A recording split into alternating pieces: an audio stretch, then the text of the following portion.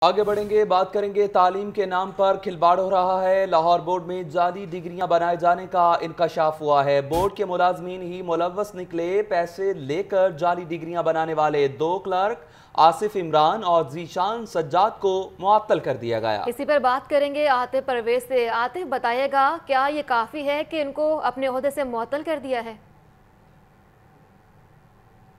معطل کرنے کی بات ہے، ان کے خلاف ساتھ انکوائری کا بھی آغاز کر دیا گیا اور پیڈا ایکٹ کے تحت جو ہے انکوائری کا آغاز کیا گیا تاہم یہ اسکینڈل جو ہے لاہور تعلیمی بورڈ سے ہی آیا ہے اور جہاں پر دو کلرک جو ہیں، وہ جاری ڈگریاں بنانے میں ملوث پائے گئے ہیں اور یہ جو وہاں پر پیسے لے کر جو ہے شہری ڈگریاں دیتے تھے اور اس کے حوالے سے ایک ویڈیو جو سامنے آئی تھی جو لاہور بورڈ کے حکام کو دی گئی، جس پر مزید انکوائری کی گئی۔ تو ایک جو جونیئر کلرک ہے، جن کا نام آصف عمران ہے انہوں نے تسلیم بھی کیا کہ جن کی جن کے پیسے لے کر وہ ڈگریاں جو ہے وہ تقسیم کرتے تھے لوگوں کو دیتے تھے تو اس پر جو ہے لاہور بورڈ نے مزید جو کاروائی کا آغاز کیا اور دوسرے کلر دونوں جو اس دھندے میں ملوث تھے ان کے خلاف پی ڈیک کے تحت اب کاروائی کا انکوائری کی گئی ہے اور ویڈیو میں بھی جو ہے جو اس میں انکوائری کی گئی ہے شامل کر لیا گیا ہے۔